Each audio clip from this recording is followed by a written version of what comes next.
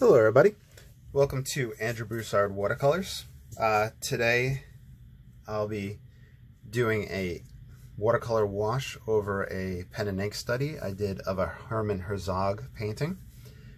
Um, I have another video uploaded where I did this. Um, this one's kind of just a different sketching approach and whatnot, but I'll get to that in a moment. So, materials. This is Canson 100% cotton 9 by 12. I taped it off so that the outside edge of the tape is 8 by 10 so it would fit underneath an 8 by 10 mat with a white border showing just to kind of make it nice and crisp. Um, the painting itself is a Hermann Herzog painting. Um, he was an American painter from Germany, uh, 1800s, early 1900s, American. Uh, amazing painter. Check him out. This painting that this was sketched of, this was Twilight over a Lake. I used a um, Fountain Pen Revolution Himalaya fountain pen. This was filled with platinum carbon ink, which is waterproof and light fast and yeah, I think that's all the materials. This, um, I don't think the sketch really came out as good as the, the other one, the other study. I kind of did a different approach with different type of cross hatching within the sky to experiment with clouds. And the previous one, I just did horizontal strokes just to um, build up different tonal values. And here, as you can see, there's a different in approach. So, I'll be taking a squirrel mop. Oh, we got Percy. Let me see if I can get Percy on camera. Percy. Now, Percy is a kitten, but at this point, she's like a young adult. And there she is. Percy, you gotta look up. No? Alright, well, there you go. So that's Percy. And she's adorable. Okay. So, this painting is a lot grayer than the previous one. So I'll use burnt sienna and ultramarine to make a nice watery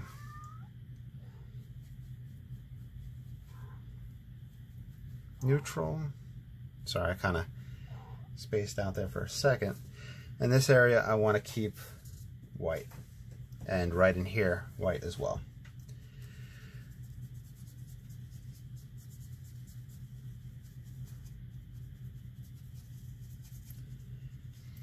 So as I kind of just paint this in, I'll blab a little bit. Um, I've been experimenting with different style videos. You know, for instance, this one um, I had pre-sketched and then now it's just kind of the washing in. Um, in other videos I've done start to finish um, and yet more I'll pause whenever I'm drying and whatnot. So I'm just trying different things um, to see what you guys like or to keep the channel fresh. And like I said, this is just a mixture of the ultramarine and raw sienna. Seems to kind of gradiate into a, sorry, burnt sienna, into a raw sienna. So let's grab some of that.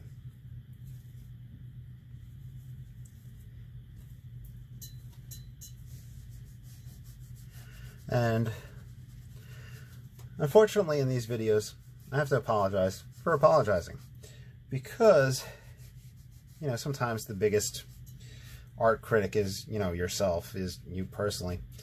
And um, I love doing these master studies these sketches. There's so much you can learn by sitting there staring and sketching a master painting. I highly recommend doing it. And you know obviously it's not going to come out like the painting, the original, especially if it's only, um, you know, the sketch was only done in about 40 minutes.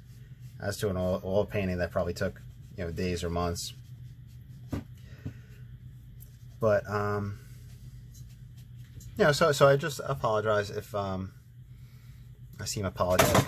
Oh, Percy, I need you not to climb up here. Percy, please.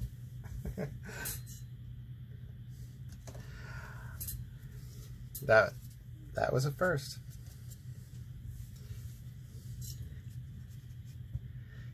She was hopping up and saying, "Stop apologizing and paint." Here's some lemon yellow, which I'm gonna put in, and then I'm gonna push it towards more of a green.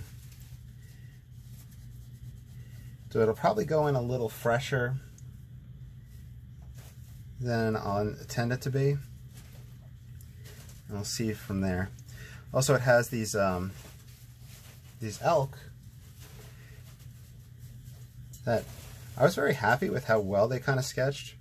However, I learned that I should not have um, brought the area around them so close. Next time I'll probably leave a crisp outline around them for sketches not a crisp outline, a crisp uh, white paper around it. But, you know, that's how you learn. Okay, I want a little bit darker, so I'm going to grab burnt umber and ultramarine.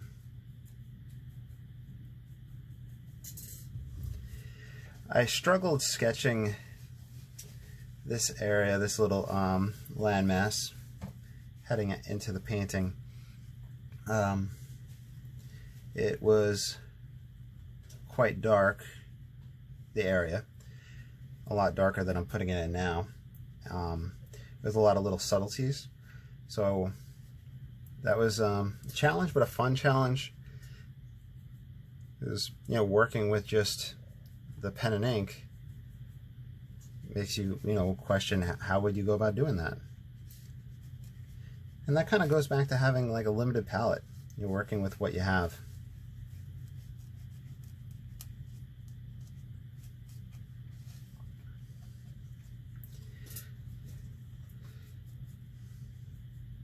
Here's some light red oxide mixed with the ultramarine. A little bit different.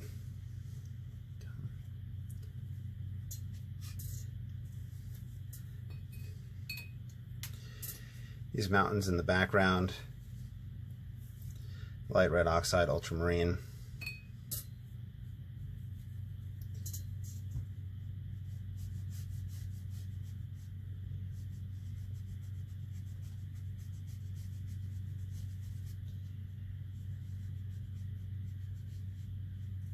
then I'll take a play from James Fletcher Watson by simply adding a little bit of burnt sienna to that to warm it up for the closer landmass.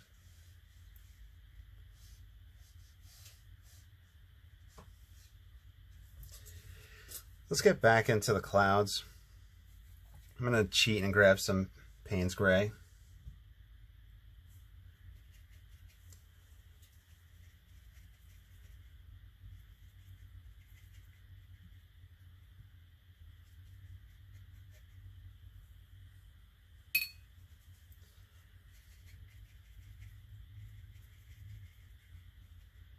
There is variations in the original painting. So to get those variations, let's see if I can utilize the paper towel for a textured lighting effect, like lighting, lifting in those spots to lighten it up.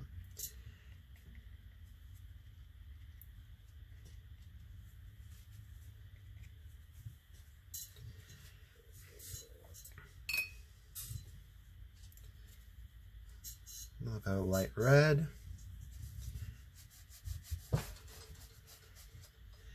The colors that he has in the sky right here makes me wonder if he used cadmium colors.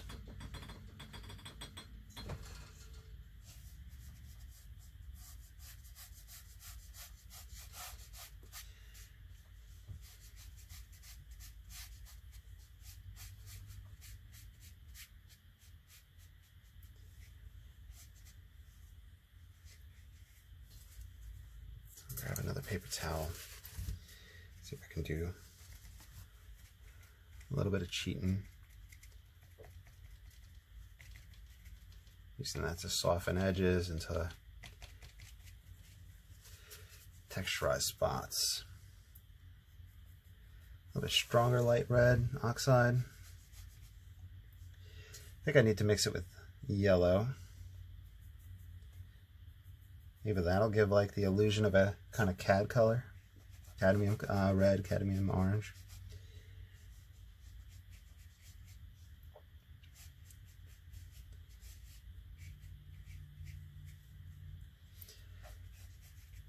Now, Hermann Herzog was uh, you know German school realist, uh, painted in America. Um, one of my favorite painters to, to study. In the comments below, who are your favorite painters? Who would you recommend studying? Who do you like to study?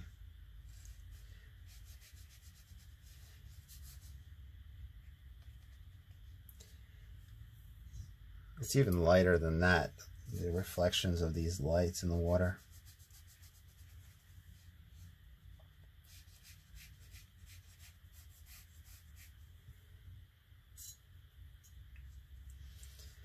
That's one thing that I hope to gain from these studies is access to the um, the subtlety that these masters had. I like fast and loose. I like the moody. Um, but I want to try to add that to my you know, bag of tricks.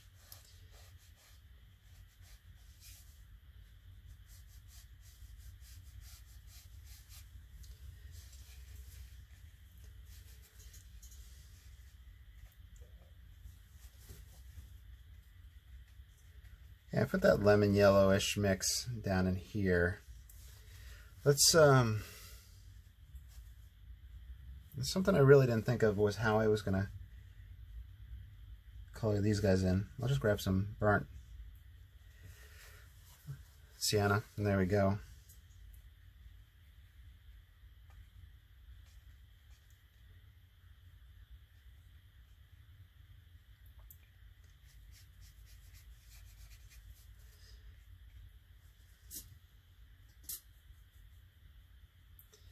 The Chinese school of painting. And if you look up uh, Henry Li, he has a lot of um, videos on YouTube. Um, Blue Heron Arts is his website and his company. He does, does a lot of you know Chinese painting, and a lot of Chinese painting is revolves around um, a brush application of ink, and then an application of color on top of that. And even some of the paper is so thin, you can apply your um, color to the back of the paper and it actually shows through. It's really beautiful effect. But um, he's somebody that I would recommend looking into for kind of pen and ink stuff. I'm not really well versed in who's out there in that field. I would say Alan Owen has some out of that. This is ultramarine and light red oxide. I want to get a little bit more variation in that sky. Alan Owen um, has a lot of uh, fast and loose videos, but I believe he has pen and ink wash as well. Uh, Lois Davidson might have some of that as well. I'm going to have to look and check. Who else? Yeah, just to give you guys ideas. Um, as much as I want you guys to like and subscribe and all that on this channel, I also want to um, you know suggest other people and help you guys expand. Or it, who's your favorite YouTuber that you watch that does pen and ink and washes over it? That'd be a good comment down below. And we could check people out. then I could refer to them.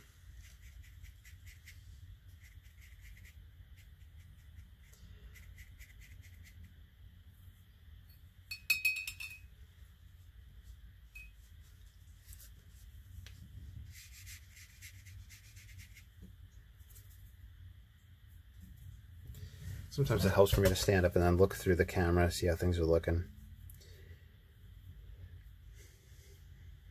I think what I need to do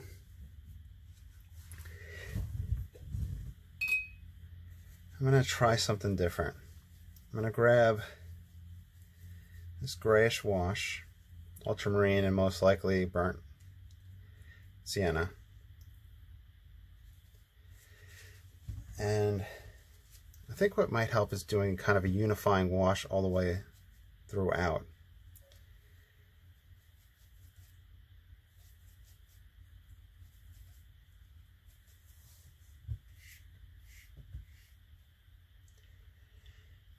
This may be a good idea, this may be a bad idea.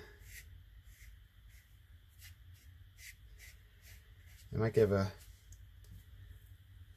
feel to this whole twilight of the scene is twilight over a lake.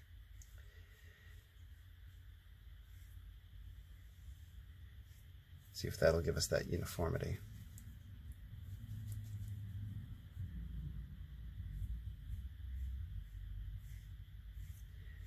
And that'll fill in the unnecessary highlights that I inadvertently left in spots.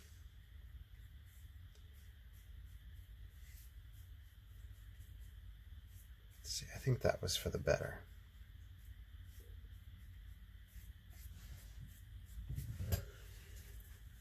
Yeah, I think that helped out. Okay, let's lift up a little bit on these guys so that they pop a little bit more. I'm going to pause for a second to do a dry off and we'll take a look and we'll see if it's necessary to um, continue with washers or if we probably hit a point where not much would happen. And before that, let me model this cloud a little bit more just so that it's there before I do a dry off just in case we decide not to do anything else.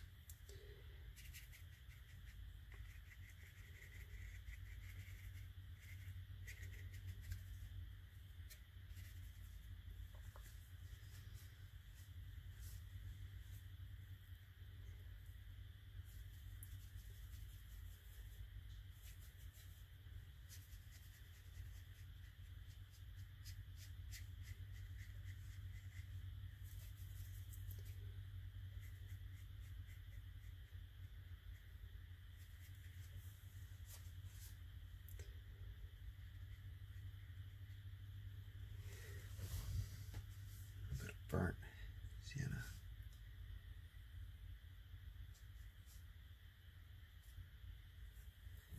Okay, I'm to pause and dry off. Alright, I'm pretty happy with it after that dry off. Um, let's remove this tape. I will try to keep my hand out the way so that you guys get the viewing pleasure of those crisp edges. Remember, pull away from the picture.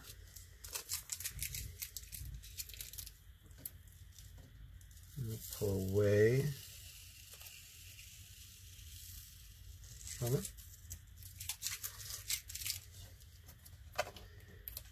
This one's pretty hard since my hand has to go over it, so I'll pull away. Hopefully that's looking good.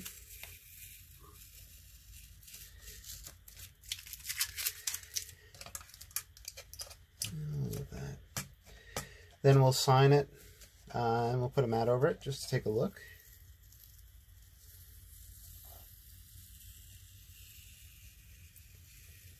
And there you go. All right, that was satisfying. Okay, so as per usual, if I'm doing a master study, just in case this winds up anybody else's hands, um, I label it after, and then I put the artist name. So this is after Herman Herzog.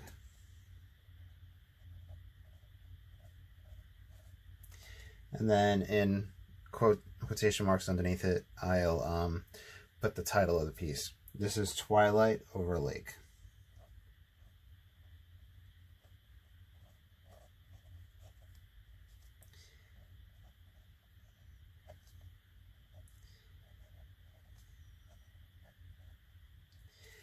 And if I knew the date, let's see. Some of the paintings, um, you know, if they're kind of obscure and all that, there's not much information out there sometimes. This one, it has the original dimensions, dates unknown. Original dimensions is uh, 14 inches by 22 inches. That is pretty cool. Okay, we'll move the clips.